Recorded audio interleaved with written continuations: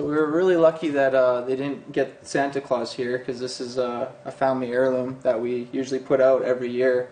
And luckily that night we didn't put it out, so now he's inside, he's safe. Santa has escaped the Grinch. It's the only Christmas lawn ornament left at Sinclair's Motors after decorations worth more than a $1,000 were stolen.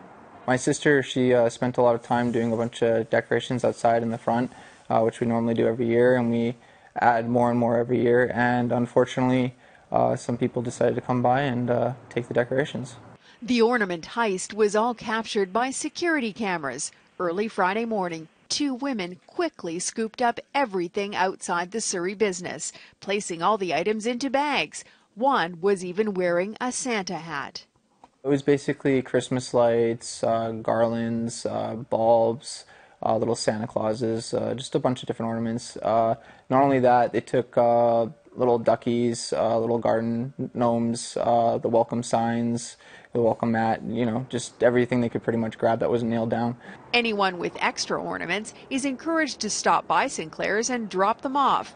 Those female Grinches not about to ruin the spirit of Christmas. They'd never ruin Christmas for us because, you know, Christmas is something that's family and friends in the community. Catherine Urquhart, Global News.